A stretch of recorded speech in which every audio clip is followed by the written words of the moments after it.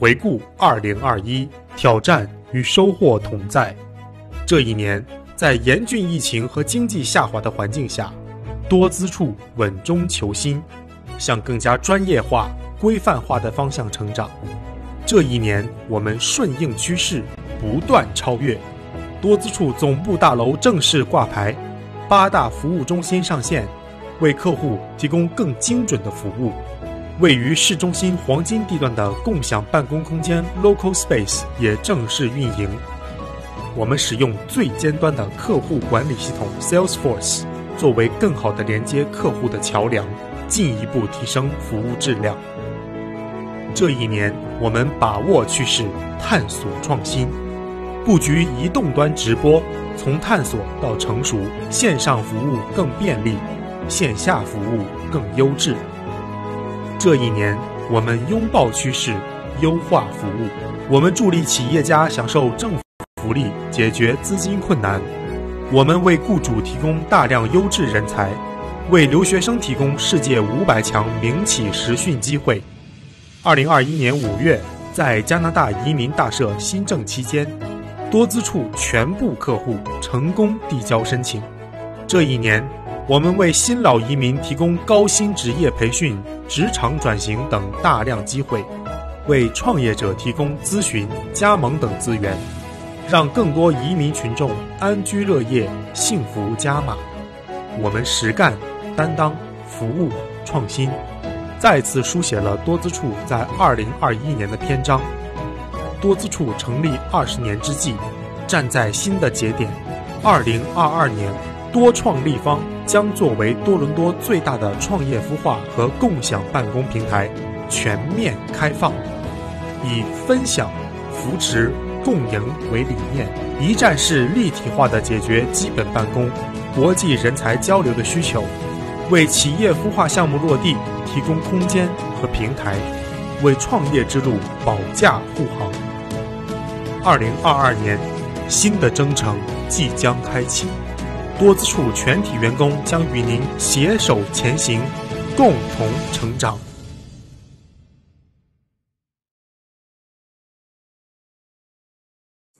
各位屏幕面前的观众朋友们，大家好，我是多资处的顾问 Claire。那首先呢，我跟所有在看直播的朋友拜一个晚年。那今天呢，应该是大年的初四，也是立春的第一天。那就咱们华人，就咱们中国人而言哈，那一般春节那往往代表的是一个崭新的一个开始。那今年呢，我那那今天呢，我们在这个万象更新，在立春的第一天，给您给您带来我们的多资处的直播讲座。那我身旁呢，也坐着一个新的。嘉宾来自我们多资处集团的税务老师 Sophia，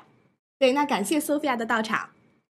哎，嗨，大家好，我是 Sophia，祝大家新年好。对，那今天呢，Sophia 老师到场呢，也就代表着我们也会跟大家好好的来聊一聊这个税务，尤其是马上的报税季也要来了。我们知道大家可能会有方方面面的问题，那今天 Sophia 来到场也会给您一一的解答。我们都说哈，一年之计在于春，那由于尤其是在这个春节万象更新的时刻，一个好的开始，一个好的规划就显得格外的重要了。大家都知道，加拿大是一个移民的国家，那从去年二零二一年，这个很多朋友都是有目共睹了，是一个移民的大年。但其实呢，可能您有所不知，二零二二年的移民的配额将有可能达到历史的最新高四十三万。这也就代表着今年呢，对于很多想要移民、考虑移民加拿大的朋友来说，也是一个非常好的机会，也是一个移民的大年。那最新的入境的政策，包括最新的一些移民局的相关的信信息，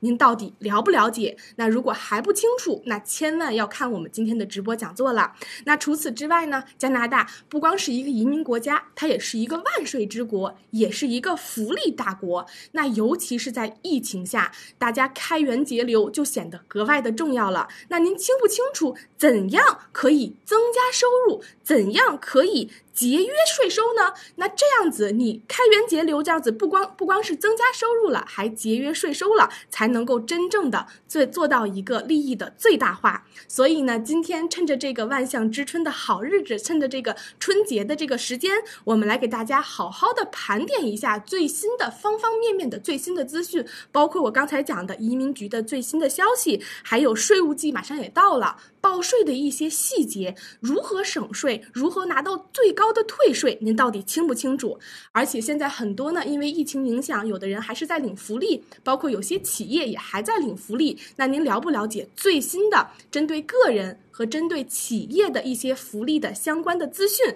那如果您现在对于我刚才说的这些还不太清楚的话，那千万要好好的来观看我们今天的直播的讲座了。那在直播的最后呢，我们也会给所有想要创业、考虑创业的朋友，跟您聊一个我们多资处新推出的非常非常好的企划，能够帮助您，帮助您的创业想法真正的落实，真正的做到低风险。低成本的有效创业。那如果您对于刚才我说的内容感兴趣的话呢，那欢迎你一定要在我们的直播下方进行留言。互动。那如果大家有一些比较针对性的问题呢，我们也非常的欢迎您随时在直播过程中联系我们的客服。那在直播的结束，我们也会给您进行一个一对一的答疑的解答。那那也请麻烦请导播这边呢，可以放一下我们的官方的视频号和我们的二维码，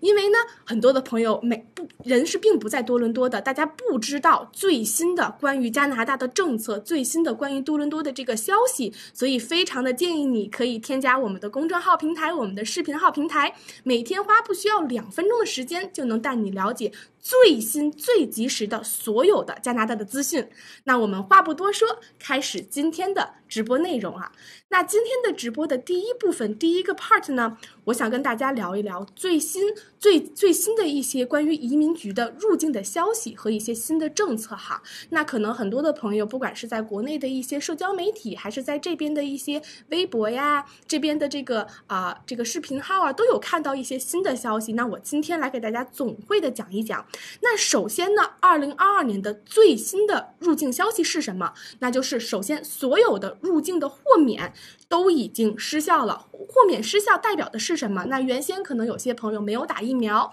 但想要来到加拿大，那他如果有豁免信或一些解释信呢，是有机会可以过来的。但现在呢，所有的人如果想要来到加拿大这边，那必须一定要有。注册的疫苗，那也就是说，所有的旅客只要是来到加拿大，你必须是疫苗的完全的这个接种者。那当然，咱们国内的现在的疫苗呢，加拿大这边也都是认可的了。所以，如果您考考虑过来，那一定要记得在过来之前，至少十四天之前打完所有的疫苗。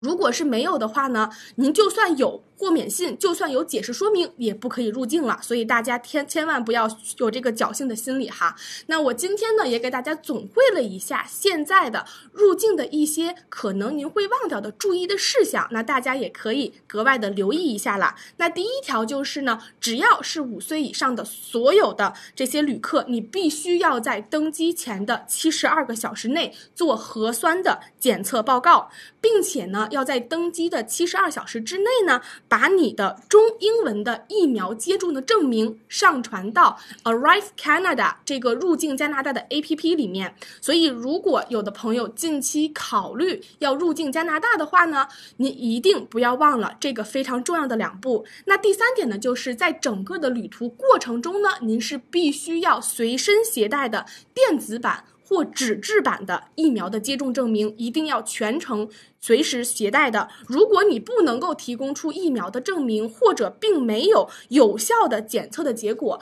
那么航空公司都是有理由直接拒绝您登机的。所以，关于我以上说的这个四点呢，希望在看我们直播的朋友，或者近期考虑入境加拿大的朋友，千万千万不要忘记。那如果呢，您这边想要了解更为详细的入境的流程，或者是一些注意事项，包括我刚才说的如何上传、如何在 Arrive Canada 上面上传中英文的这个疫苗的接种证明呢？那都欢迎您可以来联系我们的客服，我们有做了一个完整的、很详细的入境说明，相信可以帮助到所有想要过来、想要入境加拿大的朋友。那千万要注意这些点了，要不然可能如果某些地方你做的不到位，甚至是会有被拒击的风险。所以如果呢大家想要了解，那欢迎您随时的联系我们这边。那除此之外，除了这个最新的入境的政策呢，我也想跟大大家聊聊。第二个最近大家讨论的非常多的一个移民局的新的政策，就是 AI 的人工的智能的审理了。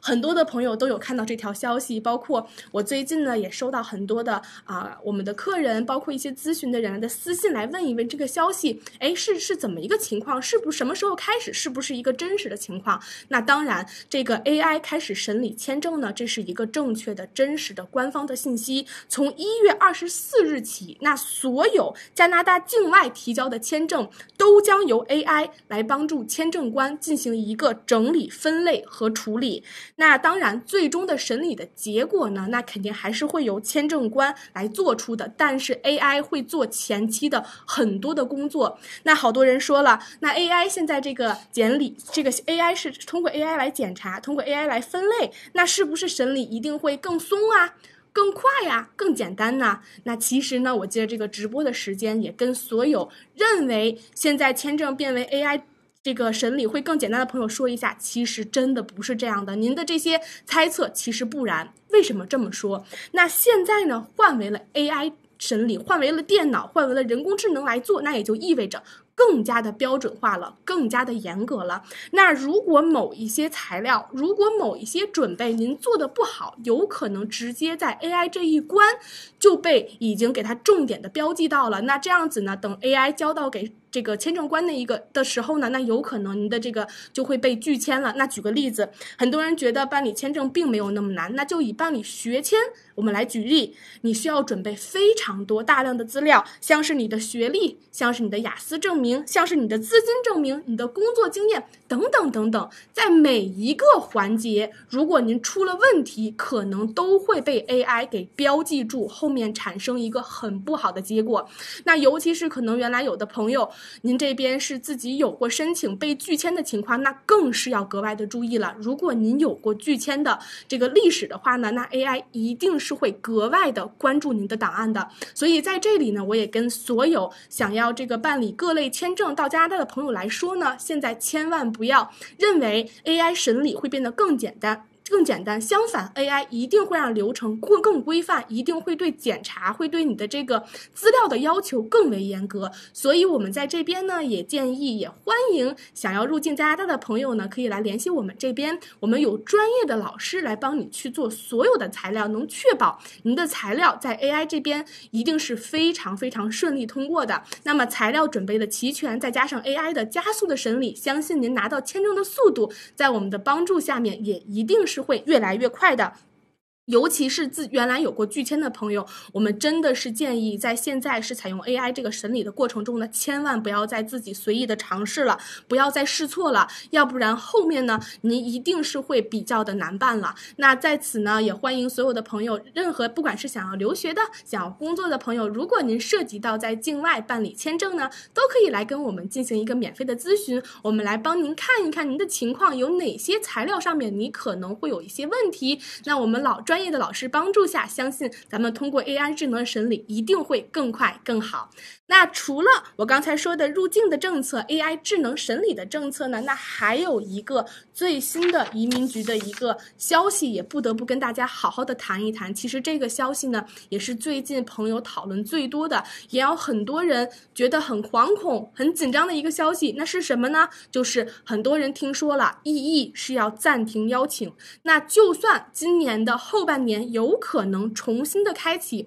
那分数也会一个暴涨。那首先呢，这个消息是怎么来的？我给大家说一下，其实是一月底的时候，一个一个一个官方的一个这个 Twitter 的账号有一条内部的备忘录的文件，公布了。那好多人其实私下在问我们，这个是不是真实的？是不是一个啊，真的是这么一个情况呢？那我们会认为这条消息的可靠性还是比较高的哈。那我们都知道，从上一次 CEC 加拿大经验类移民已经是九月十四号了，那到现在我们算一算，马上都快五个月了，那小半年，这个针对境内的经验类的移民。根本是没有开放的。那除此之外呢？FSW 我们都知道是针对境外的经验类的人士的这个移民呢，也也从二零二一年一整年到现在已经一年多了都没有开放任何的一次邀请。那所以这条内部的备忘录文件的公开呢，让好多的朋友非常的紧张。其实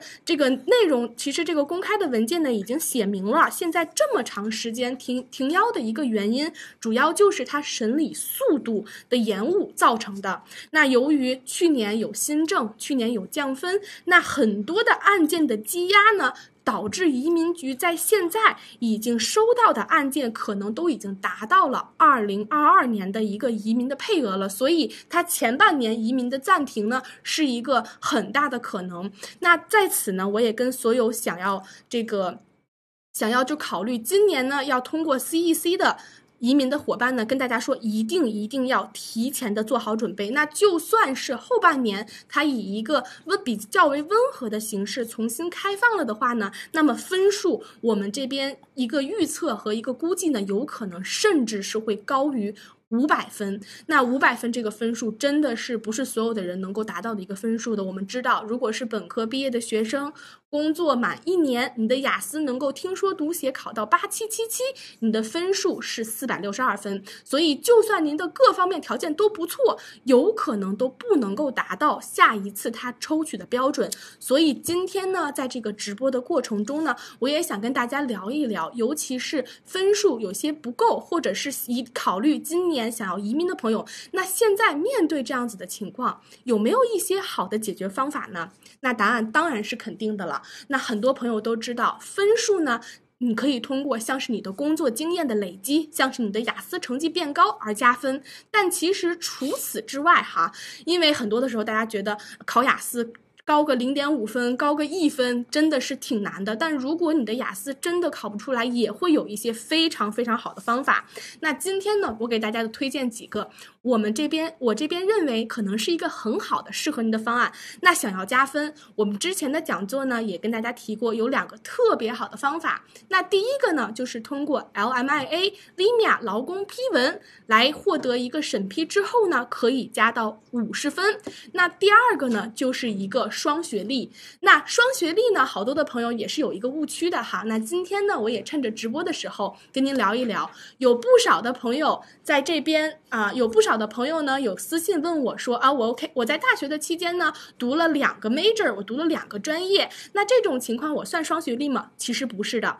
双学历的理解是你必须要有两个毕业的证书。举个例子，如果你在上大学，但你平时也在私下的时间有一个专科的证书。你有一个 degree 加上一个 diploma，或者说你在国内你有一个本科的学历，你在这边呢又读了一个专科，那么这种情况下呢，您算是双学历。否则，如果你是在本科的读了两个 major，读了两个专业，你只有一个毕业证书的话呢，它其实不算双学历的。那为什么我说在现在这个情况下，如果您的分数不够，雅思不够，就读双学历，或者是考虑办理 LIMA，都是一个非常好的决定。主要的原因就是它的加分加的是很高的。那双学历的就读，尤其是现在在疫情下面，真的是个很好的机会，因为它。首先，很多的课程时间很短，而且是全程的网课，而且是 part time 读书，所以很多的朋友来我这边听取一些建议，担心雅思考不到呢，我就会建议他考虑去就读双学历。那他可以在上学的同时去读书，或者是在工作了以后，利用课余的时间，利用一些闲暇的时间去读，都是可行的。你花不需要一年的时间，你就可以拿到另外一个文凭，顺顺利利的马上加上这个三十二分。所以现在，尤其是在在这个疫情下，尤其是你有这样子的机会，可以全程上网课，可以 part time to 就读的时刻呢？如果大家担心分数不够，千万不要犹豫了，提前做好规划，来找我们这边帮你看看你适不适合。那 Limia 呢是一个劳工部的批文，那所有在工作的过程中的朋友，只要是你的雇主的资质符合，只要是他配合，那么你都是有机会通过 Limia 这个劳工批文拿到一个五十分，至少五十分的加分了。那如果有的朋友有对这个项目有过了解，但是认为他的雇主方面的资质或者是雇主的配合呢比较的难，但又又希望可以加上这个分数呢，那我们也非常的建议你可以赶紧添加我们客服的二维码，我们来帮你进行一个评估。因为了解我们多资处的朋友知道了，我们这个在整个的多伦多地区或大多地区、大多以外地区呢，都有非常多的雇主资源。我们相信，如果您的这边的雇主资质呢不能够帮你加到分数，来联系到我们这边，我们帮你重新做一个非常好的职业规划，都是有机会能够快速的加上这个五十分的。那甚至是如果有的朋友真的是觉得雅思太难了，真的是觉得自己这个就算加上一个三十二分的双学历的分数都不够的话呢，我们也可以建议你两个项目一起考虑，在办理 LIMA 的同时呢，也可以利用闲余的时间去就读双学历。那么您有机会可以再加上三十五分的同时，再加上五十分，那一下子加上八十五分，那我相信对对于你后面的移民一定是会带来非常非常大的一个帮助的。那另外的一个建议呢，那就是跟所有想要这个办理移民的朋友说，那现在 CEC 的情况是一个暂停，那未来它重新开放呢，也一定是非常高的分数。如果你个人的分数真的比较低，可能四百出头，或者甚至是三百多分的话，你加上双学历，加上 lima 的分数都不够，那么真的是要赶紧赶紧现在考虑考虑，要不要换一个移民的赛道了？为什么这么说？如果大家进入到一一的池子里，你是跟所有的人在一起 PK，那么如果你的分数达不到，你加分都做不到的话，你在里面也很难会被抽中。那这样子的话，还不如考虑走一些非常好的省提名的项目，像是如果有的朋友是这边研究生毕业的，那可以考虑这个。呃，安省的这个研究生的省提名项目，那如果有的人的学历相对来说低一点，是一些专科学院毕业的，或者是一些本科学院毕业的，语言上面有一些有一些劣势，那不妨可以考虑这个镇安省的省提名国际留学生类别。那很多的朋友呢，可能对于省提名不是特别的了解。那今天在这个直播的过程中，时间有限，我也没办法非常详细的跟大家讨论这几个非常好的其他的方案，但是也非常的欢迎你可以私信我。然后我们的客服呢会在。啊，会跟您取得一个联系，进行一个一对一的评估。那安省的省提名国际留学生类别呢，尤其是对于一些专科毕业、对于一些语言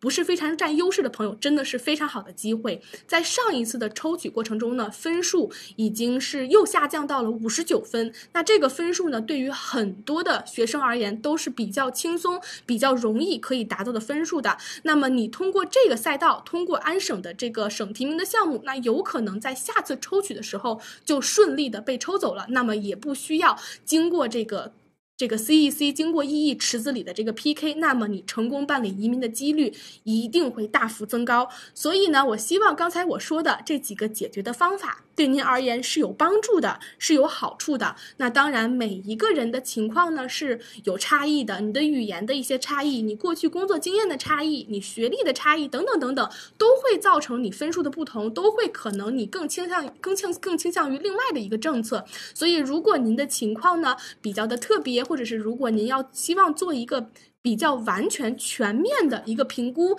那也欢迎你一定要来联系我们这边，然后我们根据您的实际的情况，给到给到您一些好的建议，帮你看一看现在这个情况下，你可以提前准备什么。那么所有的机会都是留给有准备的人的。如果你现在还在拖着，现在还不动起来，那么机会真的出现，好的机会真的来的时候，您抓不住，确实是太可惜了。那对于刚才我说的这几个移民。的新的政策，移民的一些新的消息呢？如果大家听的还是稍微有些不明白云里雾里的话呢，那也不用担心，我们会到时候私下再跟您进行一个非常详细的讲解的。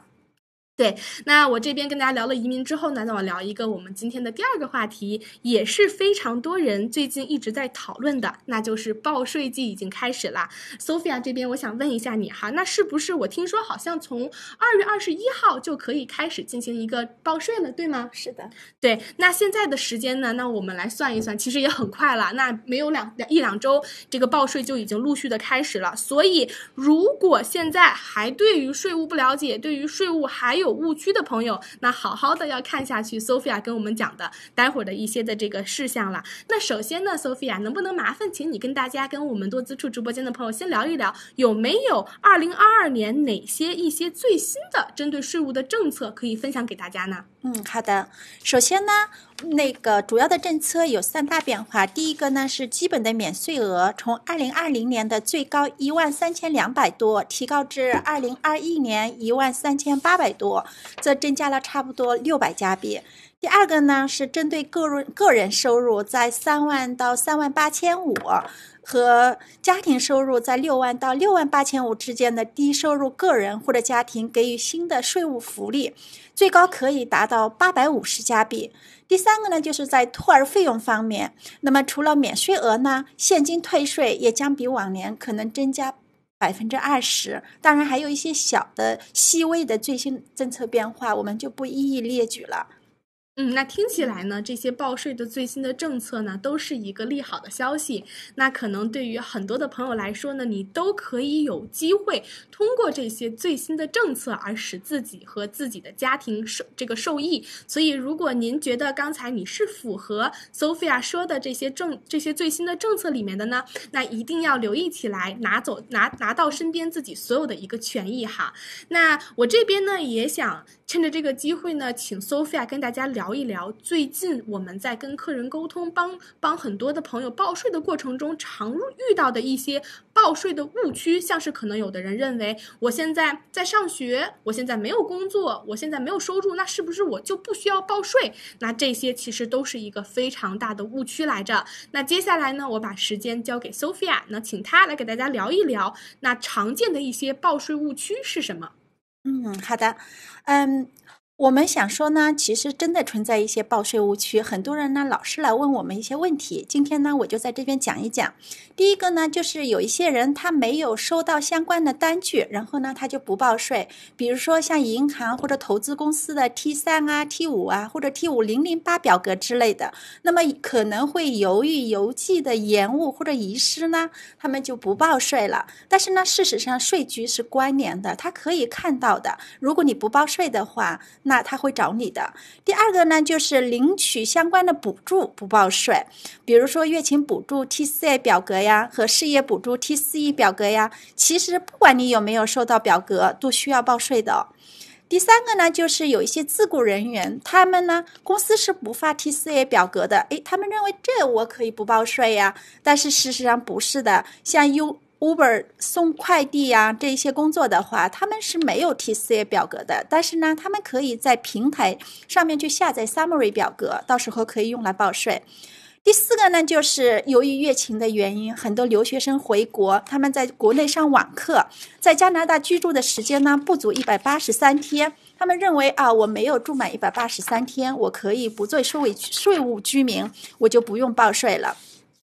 事实上呢，你没有住在加拿大，你可能不能申领福利，但是呢，你的学费可以抵免你未来的收入。如果不报的话，这是一笔很大的损失。同时呢，常规的报税对未来移民也是很有帮助的。昨天我们就收到一个客人，他来找我们非常急，因为。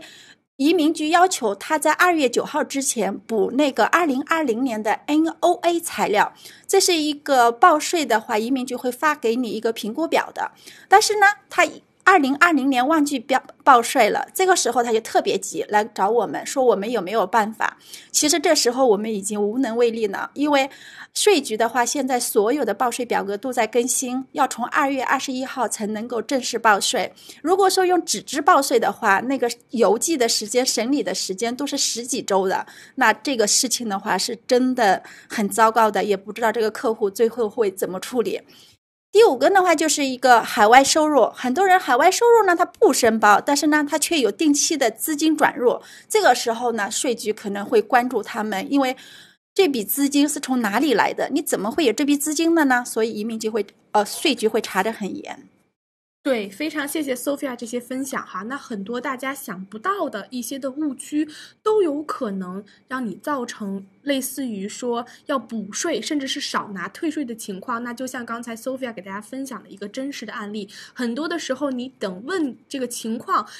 真正发生了再去补救，真的是难了很多。那一定是建议大家在能够允许的情况下，尽早的开始准备材料，尽早的开始来找我们来进行一个报税。那把所有的问题提前的解决了，那后面也一定会相对来说比较的顺的。那在这里呢，我也提醒所有的朋友，那就算您是没有一个收入的状态，就算你是学生，你也应该去报税，拿到自己的权益。因为我知道这边就算每年呢是有一些的这个。消费税可以退的，对吧？对对对。那如果呢说你这个当年没有报税，那你可能就损失了这几百刀的免费赠给你的消费税，那确实是比较可惜了。那不管你是属于你现在属于什么状态，您是一个学生，是在刚刚工作，还是说新移民、老移民，那一定要了解税务的信息，尤其是加拿大这个万税之国，那税务上面省下来的钱可从来都不是小钱的，对吧？那今天呢，我知道。啊，Sophia 也很非常 nice 的，也非常好的给大家总结了一些您可能不知道的，对你非常有好处的一些免税额。那可能很多的朋友并不了解，哎，待会儿 Sophia 说的这些地方也是可以免税的，其实能给大家也省下来不少的钱。那我也把时间交给 Sophia，能不能和大家聊一聊，可能很多朋友没有意识到的、不清楚的一些免税额呢？嗯，好的。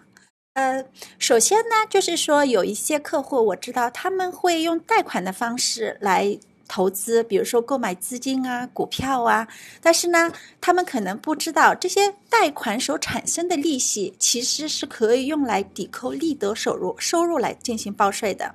第二个就是在投资的亏损方面，有的人认为啊，我今年没有收入，只亏了，那我可以不报了。事实上呢，投资亏损是可以用来抵扣以前或者未来的收益的，而且是可以无限期结转的哟。第三个的话，就是在房产卖出前那些装修升级呀，以及第三方的交易费呀，一些经济的费用啊，它其实是可以作为费用进行减免的。第四个呢，就是专业技能培训，这个他们是不发 T 二二零二 A 表的，但是呢，只要是正规的注册培训机构，凭学校的收据以及相关的证明的话，我们可以用来抵扣，嗯，相关的职业收入的。第五个的话，就是一个搬家的免税额，其实很多人是没有意识到这一点的。如果您是因为工作或者学习搬搬家，那么原来离开原来的居住地达到四十公里以上的话，那么相关的餐饮费呀、运费呀，或者卖房的费用啊，都可以作为费用进行减免支出的。但是这个时候你要保留好相关的那个单据。第六个的话就是，嗯，家里如果有不上托班的未成年的子子女，他们呢要参加夏令营啊、冬令营啊，这时候就请人照看孩子。那么这一部分的费用的话，其实有时候也是可以用来减免的。对，那刚才 Sophia 呢跟您分享的，可能都是大家没有意识到的可以减免的一些免税的额。那当然，可能还会有一些更为详细的、比较特别的情况呢，我们就不不在直播中一一赘述了。那如果您想要了解，根据您的家庭的情况有哪些免税额，你可能还有忽略的了，那千万要来联系我们这边，我们会到时候直播结束之后呢，可以安排您和我们的税务老师给您进行一个税务规划，看一看怎样子可以让。自己的利益最大化。那除此之外呢？我知道上，其实，在上次的啊。两周之前的我们的一个直播中呢，我跟 Lucas 这边也跟大家也聊一聊过一些税务的相关的信息，包括是像是一些非常好的可以贷款做投资的机会，包括是家庭内呢可以互相的利用的一些延税的工具。我知道今天 Sophia 呢也借着直播的机会呢，跟大家稍微拓展的也聊一下关于家庭的一些的这个延税的工具。那可能很多的朋友并不知道，家庭成员之间呢甚至有机会可以免税额。互转，那么请能不能请 Sophia 呢跟大家来介绍一下？嗯，好的。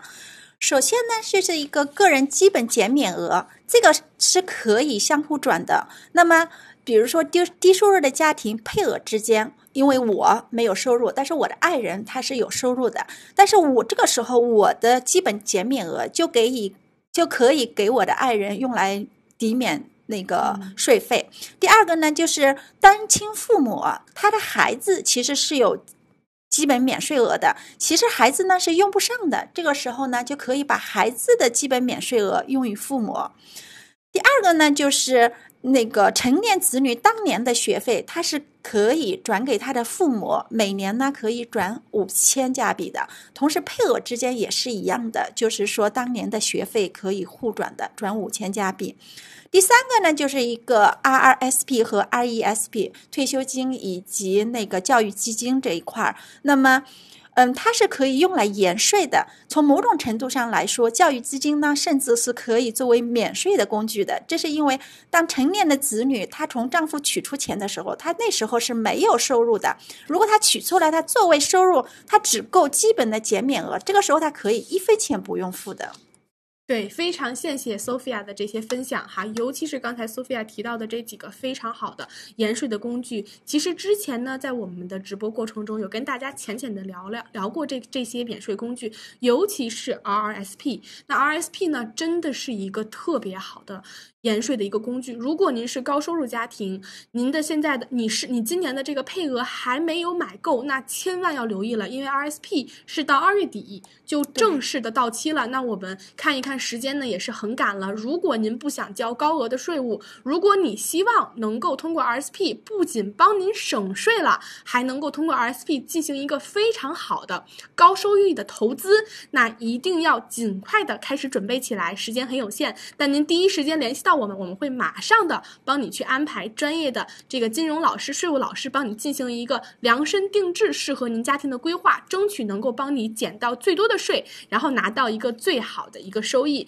那如果还不清楚如何利用好这个免税额，如何利用好延税工具，那你真的应该格外的注意啦。那除此之外呢？那我们最近也经常的，包括每年的报税季，其实我们都会碰到一些客人呢，啊，跟我们反馈说有收到税。税务局说要求审查一些某些东西，要求提供某些材料，所以今天呢，在这个报税季即将来临的时刻，我也请 Sophia 呢给大家提前的准备了一下个税经常会被审查的一些科目，正好在你还没有开始报税之前，大家可以尽可能的先把这些都准备好，避免未来有什么情况的发生。那么 Sophia 能不能请你给大家分享一下，在个税中经常被审查的有没有哪些一定要注意的点呢？好的，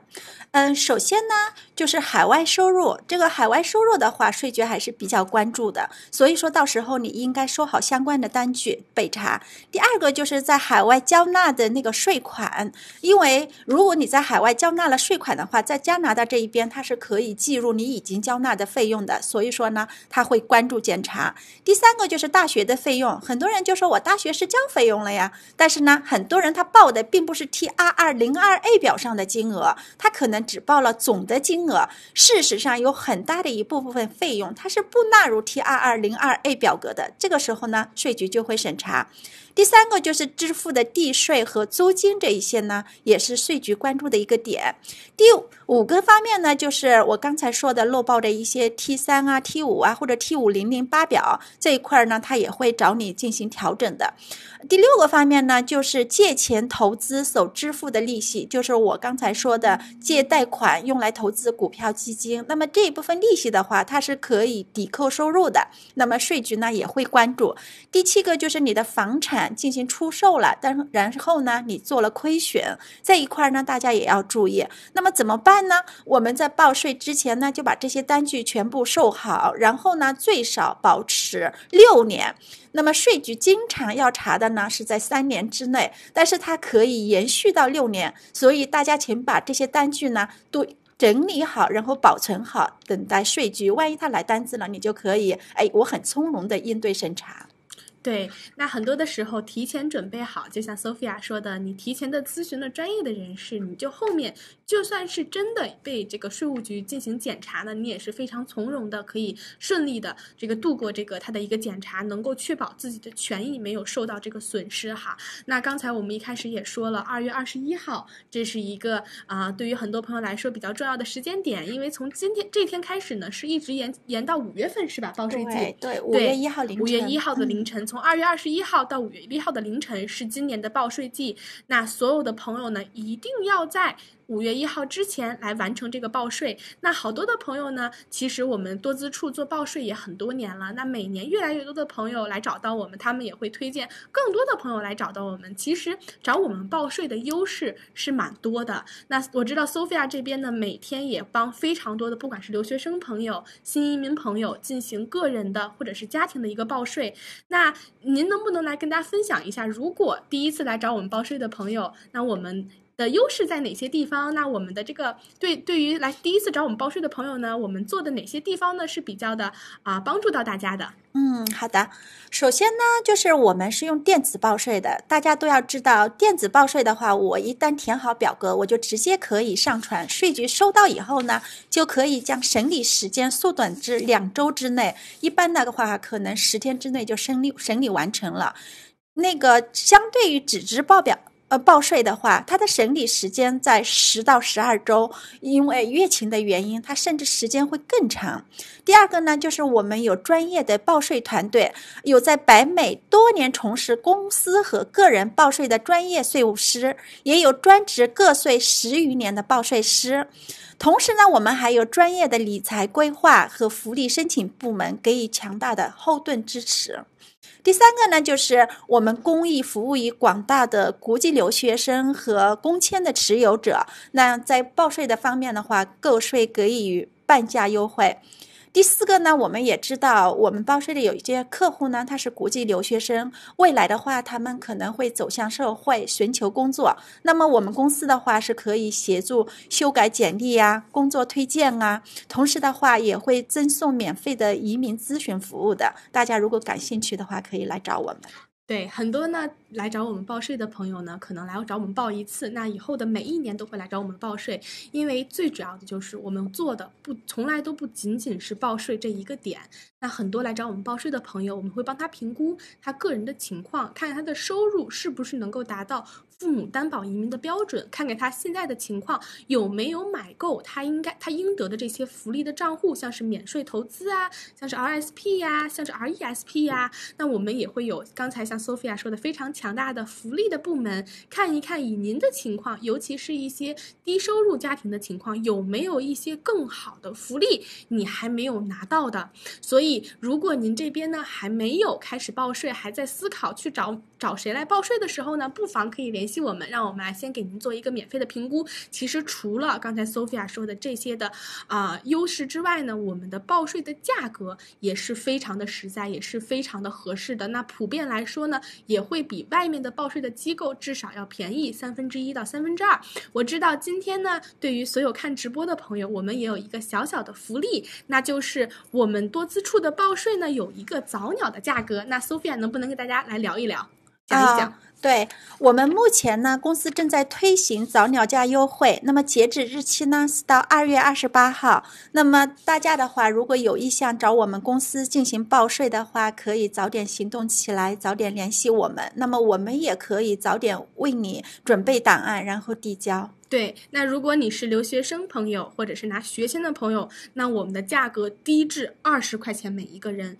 那就算呢您是这个新移民，那我们的价格呢也是可以给到您四十块钱每个人，所以它的这个真的是非常优惠的价格。我们做报税呢，更多的时候。其实不是只是为大家报税，也是想看一看，在其他的，在您生活、工作、移民、留学方方面面的其他的地方，能不能够给到您一些更多的更好的资讯。那报税呢，就是我们来认识您的一个好的途径了。那所以所有的所有的朋友，在这个报税季即将到来的时刻呢，非常欢迎可以联系我们这边，让我们来给您进行一个非常好的一个报税的服务。OK，那我这边呢，刚才呢，非常的谢谢 Sophia 跟大家好好的聊了聊关于现在税务的一些常见的误区，一些好的建议，一些税务的一些新政。那如果您对于税务呢还不是很清楚，是个税务小白的话，那就可以欢迎您千来联系我们，大家来看一看现在的情况有什么方法能让您省税，能让您拿到更多的福利。那接下来呢，说到这个福利的部门部分，我也想跟您分享分享二零二二年度最新的一些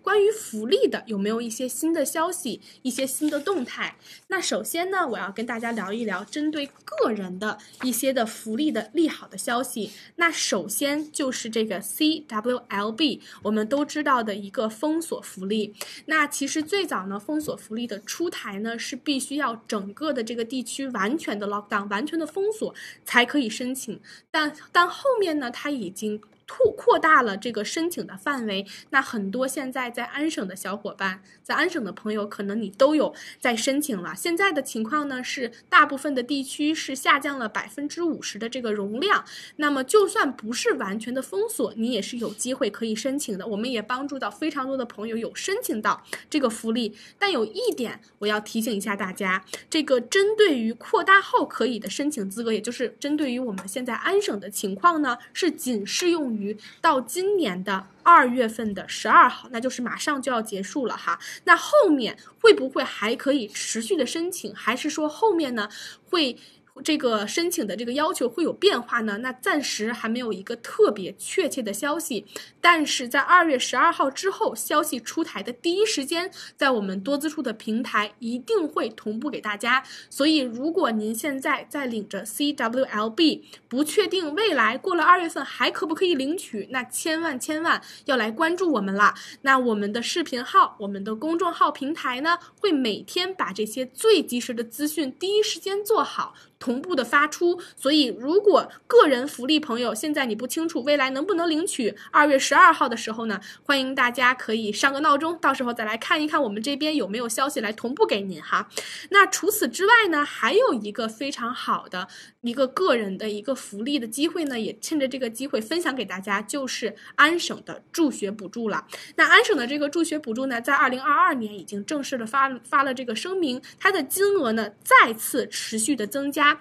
已经从原先的每周最高六百多加币，已经上升到了最高每周可达八百三十加币。那如果您有孩子的话呢？那每每一个孩子还可以额外的领取到四百的加币。那所以，如果您现在在考虑安省的助学计划呢？那此时此刻真的是一个非常好的时机了。同时呢，安省助学计划，大家我之前也跟大家聊过，它是分两部分，一部分是赠款，一部分是贷款。那就贷款联邦贷款的部分呢，它的贷款也会免利息，直到二零二三年的三月三十一号，它又往后延期了很久。所以，如果呢您现在因为疫情觉得原原先的工作很难再干下下去了，想学一些真正的好的技能，想开展一个新的事业呢，那不妨可以把注意力转移到这个安省的助学计划。那我们多次处这边呢，一向有一个非常完整的团队帮你进行一个家庭收入的评估。帮您计算一下，帮您看一下，我们能帮你拿到多少最高的多少的一个金额。除此之外，我们不光能帮你申请到这个福利，我们还可以帮你看一看哪些专业您感兴趣。那我们多资数这边呢，也做了一个非常好的网站，非常好的平台，把我们认为的一些好的课程都很详细的给您介绍放进去了。所以，如果您现在想要进行职业更换，想要拿着政府的钱，拿着福利金去学一些非常常好的专业呢，那也欢迎您在私下联系我们客服，我们可以把这个课程的一些相关的资料发给您进行参考。那很多的时候，朋友想象不到这些课程的如此的多元化。那简单的跟大家聊一聊，可能会有像是一些啊。像是诊所相关的，像是医疗美容啊，像是这个，甚至是做一些啊、像是物流管理呀、一些配餐员啊，甚至现在还有非常火爆的 DA 数据分析师专业等等等等，太多专业了。我这边这个说的只是很小的一部分，所以如果你想要换工作，对于某些方面很感兴趣的话呢，真的应该好好的利用这个安省的助学的福利的计划的。那也欢迎你来私信我们，我们来从看一下您的情况，然后给到您一个非常好的建议了。那很多的时候。大家不了解这些资讯，就像 Sophia 跟大家分享的这些，你不了解这些税务的消息，你不了解这些福利的消息，你有的时候就真的是吃大亏了。我们总是跟大家说，我们多资处呢是希望帮大家省钱，希望帮大家省税，还希望帮大家赚钱。那很多的时候，其实这些要提前的最做好的规划呢，都会能够从一开始就想得远一些，就能想到后面来怎么做。那很多的时候呢，你省下的钱还可以再去做一个更好的投资，让钱生钱，也也可以把这些省下来的钱投资在自己的身上，让自己的价值越来越高。尤其在这个疫情情疫情下，有非常多好的机会，非常多好的福利，非常多好的课程。如果感兴趣的话，真的应该提前的了解。那也欢迎您联系我们。那这样子呢，不管您是什么样子的情况，相信通通过我们的评估，一定可以给到您一些比较好的建议啦。那我这边呢，跟大家聊了关于移民的消息，关于税务的消息，也跟大家聊了聊关于福利的消息。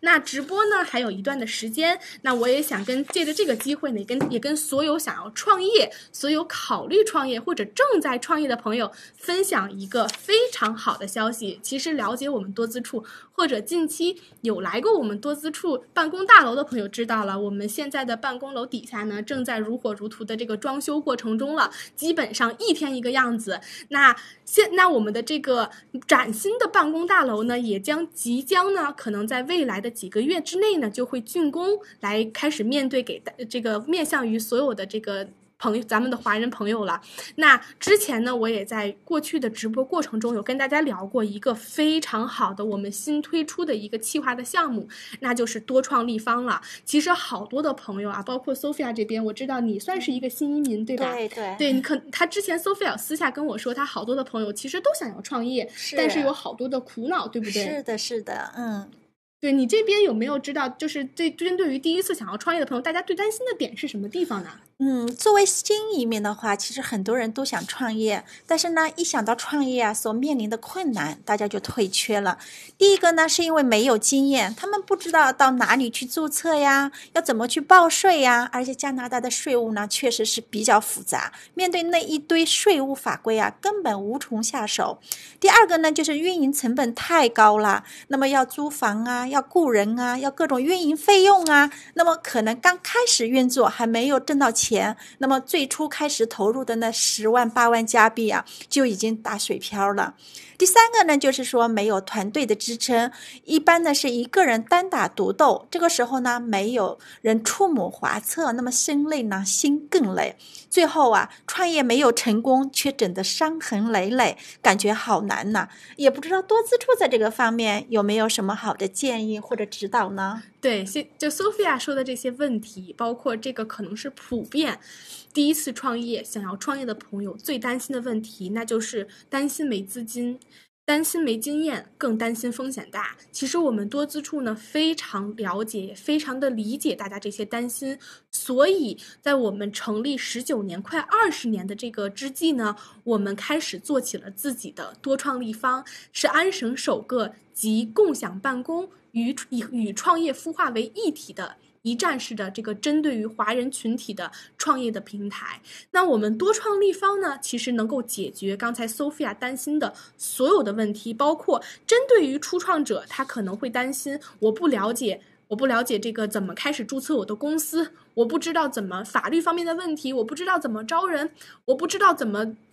这个进行融资怎么进行贷款？我没有一些好的项目，等等等等，对于这些呢创业的这个第一次创业的朋友，您的这些的问题呢，其实我们的多创立方都能够帮您解答。我们多创立方的概念呢，是根据您个人的情况，根据你的创业的想法，帮你真正的量身定制的根据你的需要提供帮助。那初创初期呢，钱这个资金是大家不得不讨论的点。那很多的朋友一直想要创业，没有创业的主要的原因就是担心前期自己投入的太大，更担心自己创业失败血本无归。其实很多的时候呢，朋友不清楚加拿大这边针对创业者是有非常多好的一些扶持的，像是之前我跟大家聊过的这个 C C F B F P，就是一个加拿大的针对政府担保的，针对这个公民或者是新移民的。小生意贷款项目，像这个项目呢，其实我们多资处呢已经做了很长的一段时间了。那我们也帮助到非常多的想要创业的朋友，通过政府扶持、政府担保的小生意贷款，顺利的拿到了第一笔的启动资金。而且呢，这笔钱因为有政府担保，其实你个人的风险已经降到了最低了。就算真的是有什么情况发生，你个人还款的金额呢也是非常的少，是一个非常低成本、低风险的创业的机会。那所有考虑到。使用我们多创立方、使用我们平台的朋友呢，这些服务我们都是会一起来根据您的情况帮你量身定制的。你担心钱没关系，我们帮你去搞定贷款，帮你去搞定融资。您担心没有好的创业想法没关系，我们有专业的团团队，有领域类的大佬来带着你一点一点帮你把你的创业想法来落实。那如果您担心不知道怎么招员工，不知道怎么做培训，对于法律、对于税务不了解，那更不。需要担心了，我们都匹配专业的团队、专业的老师，根据您的需要，可以按会员制、按季度制、按年来给您提供服务。咱们真正的把钱来用在刀刃上。那很多的时候，尤其是疫情下呢，大家啊不敢创业，或者说是担心创业失败的一个方法，就是担心我的支出肯定是高于我的这个收入的，尤其是租金，包括这些，就像租金呀、员工啊这样的固定的收入。那其实我们多创立方。也非常的考虑到了大家这样子的担心，其实我们也推出了特别好的一个办公的一个针对性的办公的服务，办公设施的服务，像是虚拟办公服务。虚拟办公服务呢，在这两年非常的火。那在疫情下，我们也帮助很多的初创者提供了虚拟办公的服务。那您在前期创业创创业的初期呢，你可能并不需要一个非常固定的办公场所，也不想花多过多的资金来就是租一个场地，那么你可以考虑。这个来和我们联系，来看一看虚拟办公是不是适合你的。那我们这边呢，像是一些海外的公司，对吧？一些居家的人士，一些自雇的人士，我们可以给你提供包括注册地址。转接电话、收取邮件、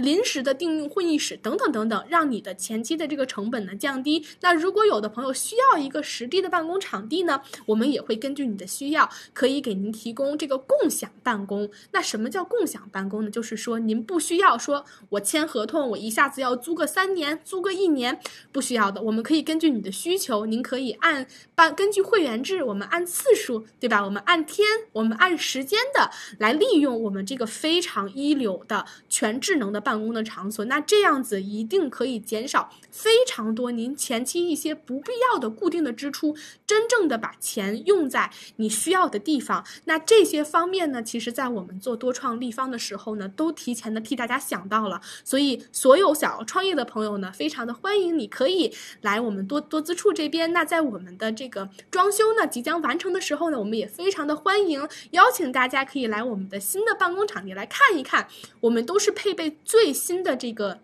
设备，包括是华为的智能的办公。这个设备，然后包括是现在非最快速的网络、全新的装修等等等等，相信您来到我们的共享办公，一定能给你一个现在市面上最舒适、最最一流的一个办公的体验了。那除此之外呢，其实我说的这些软性服务也好，硬性服务也好，那是一个方面。那另外一个方面，找到我们的多创立方，用我们的共享办公，更主要的一个点是我们是一个创业的社区。英文来说呢，就是一个 community，这是什么意思呢？代表的是我们会集合所有想要出创业、初创的企业，一些刚刚开始发展的小型企业，在我们这个平台的发展，我们为很多的初创者提供更多的社群的资源，让大家可以做到资源共享。互相帮助学习。那尤其是在创业的初期，人脉 networking，你这个有没有专业来，有没有这个相关领域的这个人能够带一带你，这些方面也是很重要的。那我们希望把我们的平台做成一个针对创业者的大社区，针对创业者的一个温暖的家园，让所有想要创业的朋友可以进来，大家可以相这个消息共享，大家可以资源共享。那我们多资处作为这个平台，也会把我们二十年的经验来共享给大家，把一些好的资讯、一些好的方法，包括我们有一流的宣传团队、这个市场团队，能够帮助尤其是创业初期的朋友，给您提供各方面的自媒体的这个运营，这个帮你去吸引到更多的客源，这些方方面面等等等等，我们都会根据您的需要来给您提供帮助的。那所以呢，我们也是希望现在在疫情下，有的朋友想要创业的呢，不要让您的这些担心，刚才 Sophia 的给提到的这大家最常有的这些担心来。这个阻止你创业的脚步，很可能您跟我们沟通沟通，来发来看一下，我们给您提供帮助，可能创业会变得非常非常的简单。那关键呢，也希望我们的帮助下呢，能够让您减少经济的压抑，能够让您减少这个风险，咱们真正的低成本高回报的来开始这个创业。那大家呢，如果对于创业、对于贷款，或者是对于我们的这个服务、我们的软性服务有任何的问题，想要更多的了解我们的一个一个服。服务我们的一个的情况呢，那也欢迎大家可以私信我们，我们针对您的情况也可以给到一些建议。那如果呢之前有尝试贷款但遇到一些困难的朋友呢，也可以联系我们，我们都是合作五大银行的。那相信通过我们的这边根据您的啊情况来进行一些资料的准备呢，都会可以顺利的帮你拿到比较高额的一个贷款哈。那想要创业的朋友，不要因为疫情，不要因为现在自己的担心来阻止自己的脚步。那我们也。欢迎所有初创企业、小型企业呢，在我们的办公大楼装装修好的时候呢，欢迎您过来来进行一个参观。对。那今天呢，不知不觉也跟大家聊了这么多了，一下子一看时间也马上到了十点半了。那非常的感谢大家呢，今天花了一个小时来看我们的直播。那像一开始说的，今天是大年初四，也是立春的第一天。那我们多资处全体员工在这里给我们的这个观众朋友拜一个晚年。那我们也祝您和您的家人在今年在虎年这个年份里能够虎虎生威，能够万事顺利。那对于我们刚才讲的呢，任任何的内容，你有不明白的地方呢，都欢迎您可以随时的来联系我们。那在直播的最后呢，我也想推一下我们的这个小红书多伦多放大镜的平台。那这个平台呢，现在是做的非常的有意思哈。我其实自己没事儿，我也会在我们的这个平台上看一看，每天呢都会。啊，发布一些特别有意思，在多伦多的一些吃喝玩乐的方方面面。那很多的时候，我们的美女导播也会给您分享一些好玩的地方、好吃的餐馆、一些有意思的冬季的活动、运动等等等等。那如果生活在多伦多的小伙伴们呢，也可以关注我们的小红书多伦多放大镜平台。那每天我们都会有。我们这边都会有实地考察一些特别好、特别有意思、特别特别好玩的地方呢，分享给您。那我们也会不定期的有一些非常好的直播，现场给您发一些现金的体验券，免费去喝奶茶，免费去滑雪，免费去吃饭，这样子的好机会呢，您千万不要错过啦。那再次呢，非常感谢 Sophia 今天可以在百忙之中抽出时间来给大家聊一聊这个税务的问题。那报税二月二十一号马上就要开始啦，所以呢。所有在看直播的朋友呢，如果还没有报税，欢迎您及时的联系我们。那任何的第一消息呢，我们都会在我们的各个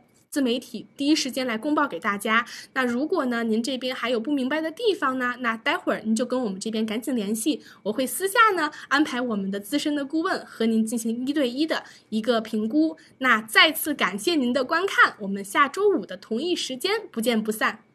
则多之处，让我们与您一起分担。近二十年来，我们已经成为安省规模最大的一站式咨询集团，已为三万多名留学生和新移民客户达成梦想。客户的信任与支持是我们前进的动力。多资处集团愿为身在海外的每一位华人提供最及时、准确的资讯，用我们的专业为您做出最佳选择。一、人力资源服务。初入加拿大，没有人脉资源找工作，常常碰壁。多资处精英导师顾问与北美资深猎头强强联手，与六千多家优质雇主合作，优先获得内部机会，让您主动出击，成为最后赢家。我们的服务包括快速工作安排、高端猎头工作、行业精英导师、真实实习项目、人工 AI 智能加持。